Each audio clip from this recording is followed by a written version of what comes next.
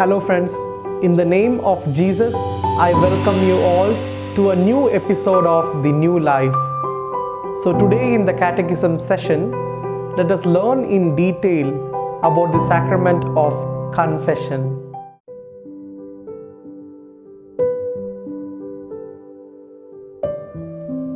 Confession is a sacrament of healing. We Catholics believe that our church heals from the sacrament of confession. The sacrament of penance, reconciliation, or confession is a spiritual healing process. We believe that Jesus Christ left this sacrament of penance because only God can forgive and heal a wounded soul. A penance help the Catholics to atone for the sins they have committed. Jesus Christ instituted the sacrament of penance for all sinful members of his church. For those since baptism have fallen into grave sin, it is to them that the sacrament of penance offers a new possibility to convert and to recover the grace of justification. The confession of sins, even from a simply human point of view, frees us and facilitates our reconciliation with others. Through such an admission, man looks squarely at the sins he is guilty of, takes responsibility for them, and thereby opens himself again to God and to the communion of the Church in order to make a new future possible. The purpose of confession is to reconcile man to God. When we sin, we deprive ourselves of God's grace, and by doing so, we make it even easier to sin more. The only way out of this is to acknowledge our sins, to repent of them, and to ask God's forgiveness. Then, in the sacrament of confession, grace can be restored to your souls, and we can once again resist sin. The sacrament of confession is one of the seven sacraments recognized by the Catholic Church.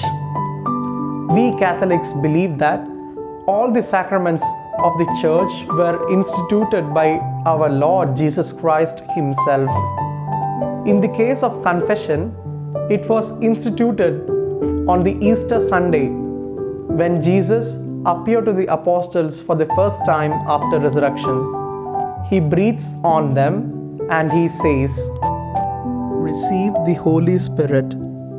For those whose sins you forgive, they are forgiven. For those whose sins you retain, they are retained. Those who approach the sacrament of penance obtain God's mercy for the offense they have committed against Him. Only God can forgive sins. As Jesus Christ, being the Son of God, says of Himself, the Son of Man has authority on earth to forgive sins. And then He exercises His divine power. Your sins are forgiven. You must confess all known mortal sins to a priest.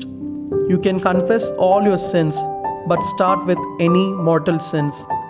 The priest is bound by the most absolute secrecy and confidentially known to humankind. Not even the Pope can get a priest to tell who went to him for confession and what was confessed.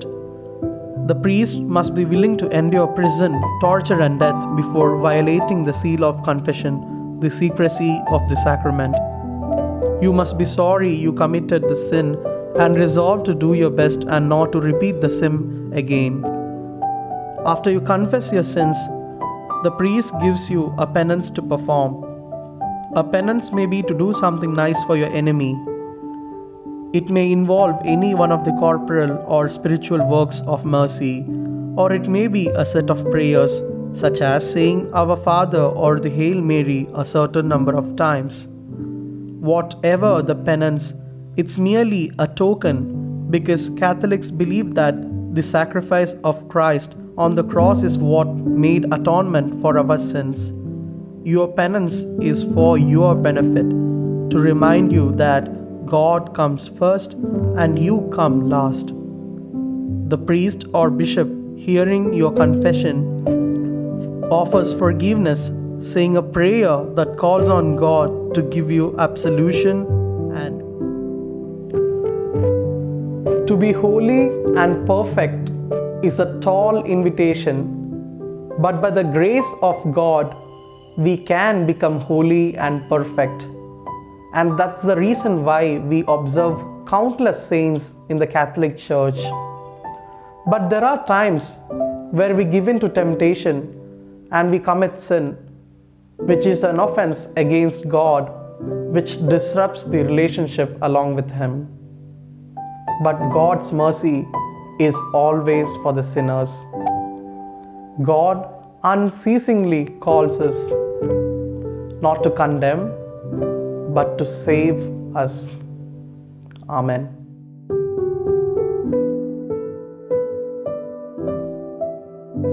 Friends in Christ Jesus. Today we are taking Psalms 24. It is a prayer for guidance and protection. We have to offer all our prayers to the Lord and He will take care of us and He will save us.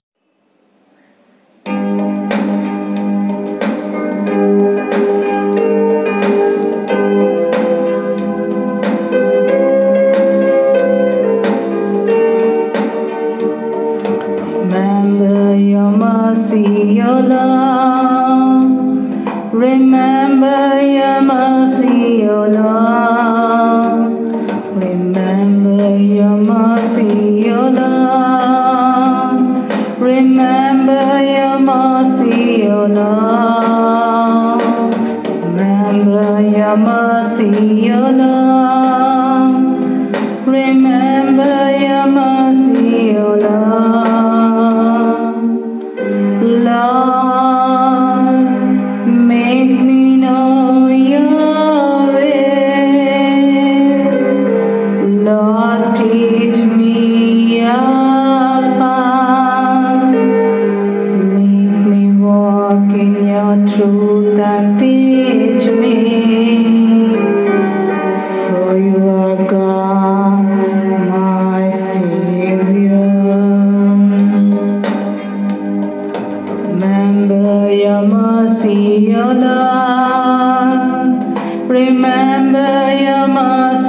Your love. Remember your mercy, your love. Remember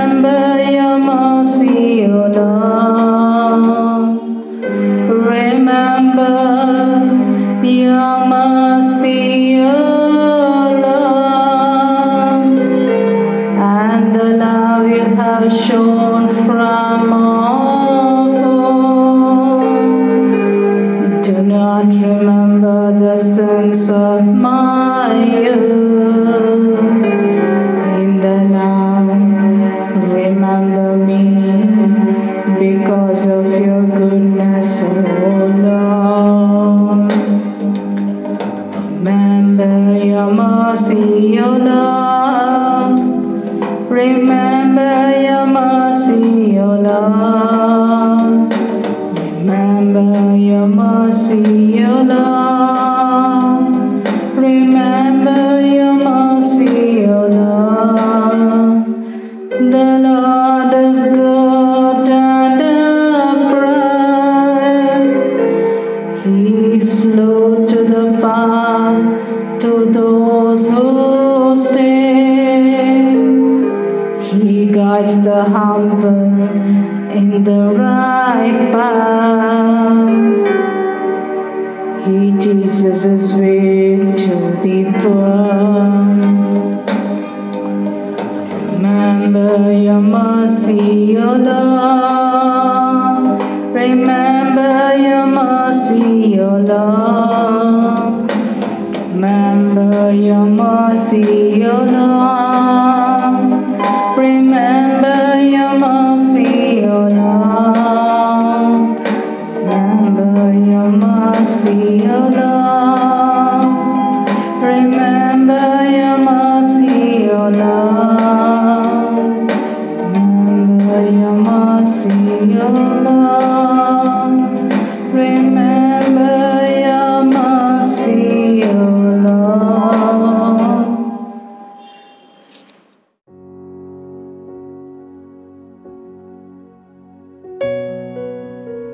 Dear friends, today we reflect on the Gospel according to St. Matthew, chapter 21, verses 28 to 32. Jesus went on to say, What do you think of this? A man had two sons. He went to the first and said to him, Son, go and work today in my vineyard.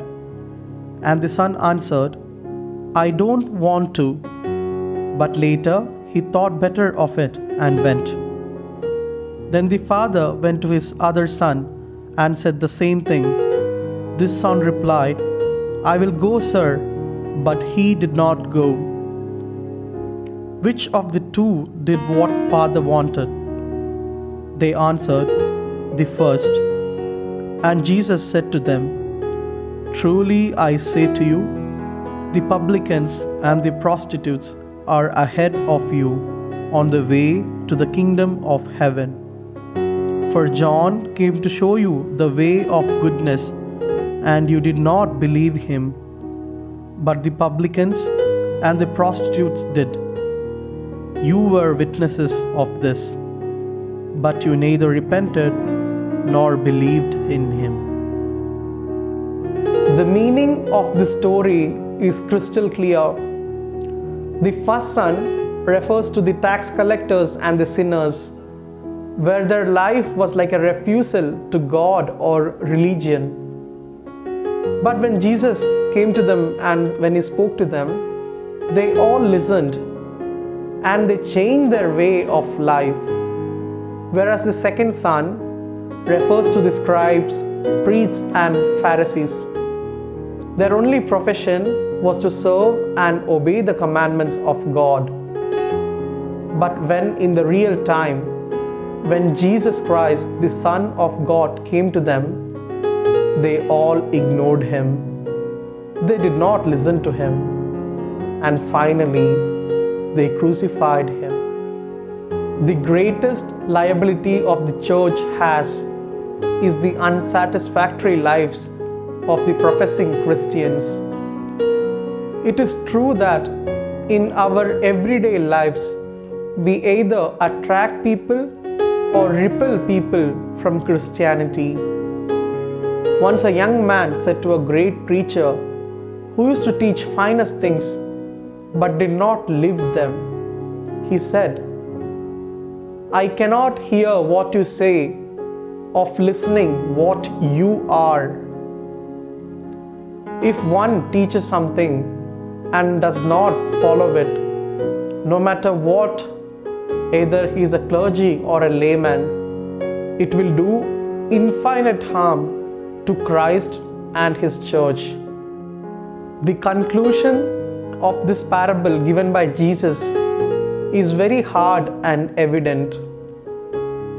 According to the opinion of the priests and elders, the tax collectors and the prostitutes were sinners and unclean, and they did not do the will of the Father in heaven. But according to the opinion of Jesus Christ, the tax collectors and the prostitutes, in fact, said, I don't want to, but still they ended up doing the will of the Father. They repented on listening to the preachings of John the Baptist. They repented listening to Jesus. They acknowledged the arrival of the Son of God. May God shower His abundance of grace upon all of us. In the name of the Father, and of the Son, and of the Holy Spirit. Amen.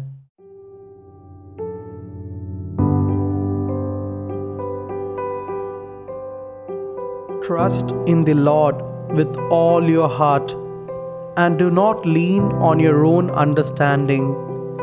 In all your ways, acknowledge Him, and He will make straight your paths.